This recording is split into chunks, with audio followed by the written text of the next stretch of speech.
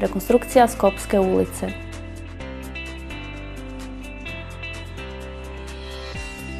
Izgradili kanal za slivne vode u Bohinskoj Jamadolskoj ulici. Postavljena signalizacija usporivač prometa u ulici Luščić. Realizirali pripremne radove za izgradnju dječjeg i sportskog igrališta. Izmijenili stolariju u prostorijama gradske četvrti kroz K kvart. Izvršili dopunu rasvjetnih tijela. Uredili postojeća dječja igrališta.